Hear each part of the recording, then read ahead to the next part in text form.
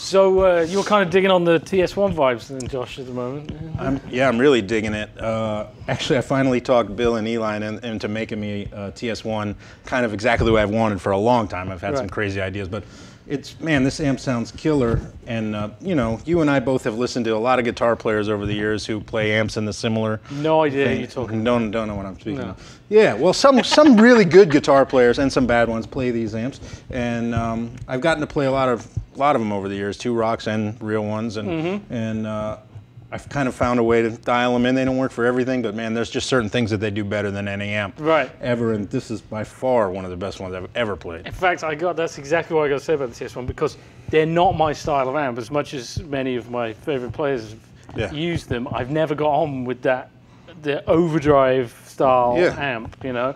Um, and this one I like, and I can plug into it and not go, oh, I just wish I had a super reverb. Well, yeah. Or, you know, which is what has happened because there's the myth of them and the the whole idea that you, you know, like, and then it, I've always, even with the real ones, I've for me, I've been like, this isn't for me. And yet, I could take this out, and I have done on a couple of Bill's prototypes, taken it out and done a gig on it and loved it. You know. Mm-hmm. Well, it was you know, we're around the same age. It was a mythical Yeah. thing, you know, to, to one day get to plug into one of these things. Every all these there's common thread when you look at all these players. Wait, they're all using this amplifier, Yeah, this yeah. crazy amplifier that you can't get anywhere. Yeah. And uh, so when I first did start to play through them, of course I was floored. But then when you take them to a gig, when you come from where we come from, playing Fender amps Mm-hmm. and supers, non-masters, it could be daunting. And they're different. They don't excel at everything. They don't pick pedals the way that classic reverb did. Right, right. You know what I mean? They don't feel like that. They're really in your face, Yeah. but they're super dynamic. Yeah. And there's just certain things they do better than any amp that's ever ever. Yeah, there's a little bit of an art to getting the best out of them. I think There is. a ref- refined thing. But this one, for me, not being even that far, that good at the art of getting something out of an overdrive amp.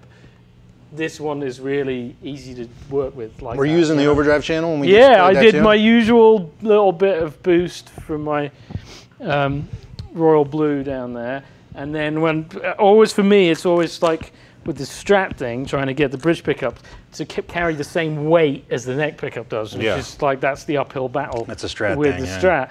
So I'm always looking for a be another pedal, or in this case, I just switched to the lead channel, and then I think I was on bypass when I'm getting to the really Okay, so you were were the little bypassed. All notes right. as well. So I just had nothing other than the amp wide open and a bit of this uh, the tone reverb going on. Okay, see, I, I didn't have anything going on from the pedal board. I had a slap going. Right.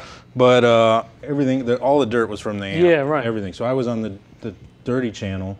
And for me, it's always been the way to get these amps to sound and feel the way that everybody really wants them to feel is to, to wrap your head around the cascading gain. Mm-hmm. Yeah, so you're thing. feeding it right. Yeah, because the first volume control is the key. It feeds into everything else. Mm-hmm. So I found when you can get this volume control above five, really six seems to be my magic number, that dirty takes off where the lead started, Yeah. you know, where the clean ended, and it's just the right, that bloom that everyone's looking for. That's, and that's, that's a big part of it.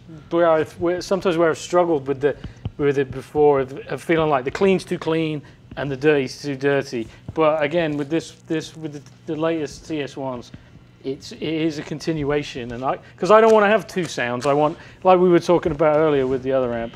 Yeah. I want everything to be a Yeah. continuation of the sound of my guitar. So Well, this it's like, uh, does you're that right though. The clean on this is a different clean than what your what Yeah. the classic reverb was. Yeah. It, it's it's more hi-fi. yeah, It has way deeper low.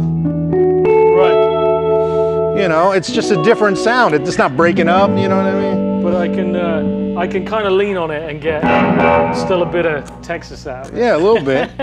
But For man, me, you know. check it out. Like if I turn this the, Yeah. the clean volume down to three and keep the master where it was.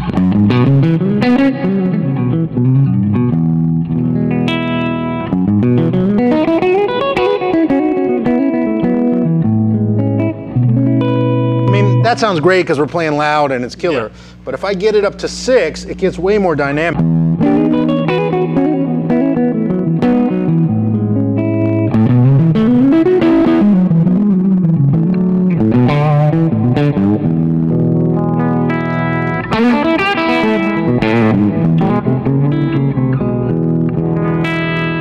Yeah, that's where it comes to life, really, isn't It, it? it really is where it Without being much life. dirtier, like it's not falling apart. Dirty, No, and that's so- where it finally starts to give a little bit, so that when you go to the overdrive, they connect Right. like in a in a musical way. There you and, go. And then the switches is, I find the bright switch depends on speaker for sure. So Mm-hmm. this cabinet actually has my speakers in it, the Eminence JSs, which are a little dark. So Right. I've got the bright switch on. I've got the mid switch off. I almost always have the mid switch off, and that's because come from Blackface Fender. Right, So I I don't want. I'm not a tweed guy. I don't want super mid forward. And the, the lead channel on this already pumps mids a little bit, you know. Uh, and then the rock switch almost always in in rock jazz. So that sounds like. Here's the jazz EQ. Makes you want to go. Doesn't it sound so jazzy? Just way less gain. It actually sounds great though. Sounds great. Instant jazz, just Instant jazz, switch. And I've got the same reverb you've got going, Yeah, the free the tone in the loop. So when I switch to the lead channel, I tend to, if you can get the volume up past six, you can keep the, the gain on the lead channel down, Right. below half. But then keep the volume of the lead channel way up. So then you're avoiding that compression too You're in- much, right? Yeah, because it, it has, comp- this amp Yeah. has compression. So if I switch to the lead channel right now, it kind of takes off.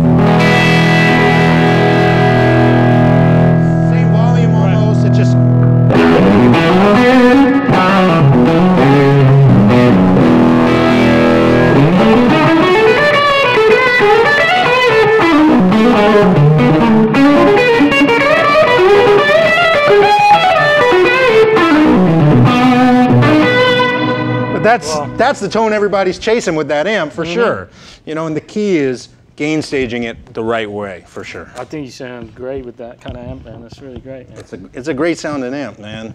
I wish I could carry three because there's like I want the blackface thing, I want Yeah. this, I want this, and they all have. The, yeah, that's the thing about gear, anyways. They all have things that they do